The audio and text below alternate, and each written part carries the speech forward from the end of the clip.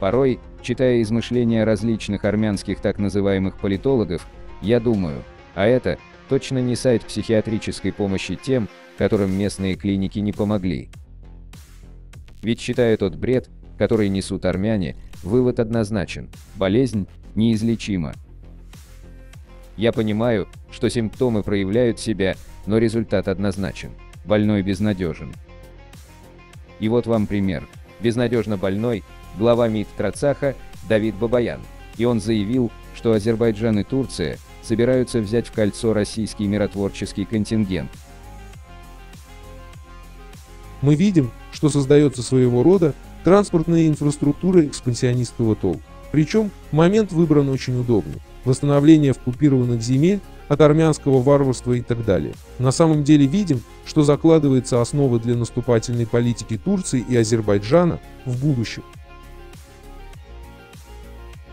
Они создают очень разветвленную сеть дорог и тоннелей, которые позволят перебрасывать очень большое количество войск на границу с Ираном, а также взять в кольцо российский миротворческий контингент.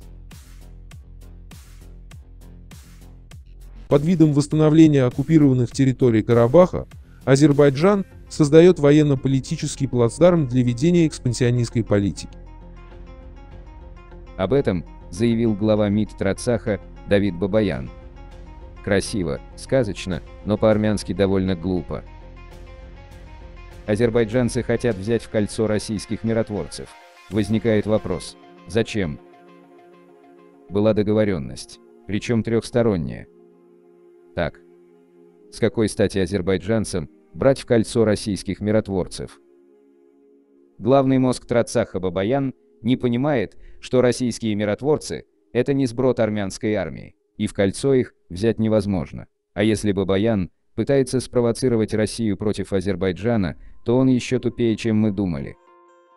Единственная сторона, которая заинтересована столкнуть лбами Россию и Азербайджан – это Армения. Это государственное недоразумение пытается вычленить Карабах из состава Азербайджана и прибегает ко всякого рода грязным методам. Мол, азербайджанцы окружат российских военнослужащих. Бабаян. Азербайджан не Америка.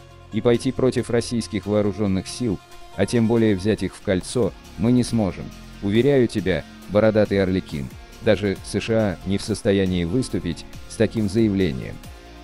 Так что, придется Бабаяну отчитаться, где, когда и почему азербайджанцы должны взять в кольцо российских миротворцев. Рассчитывали на провокацию. Не вышло.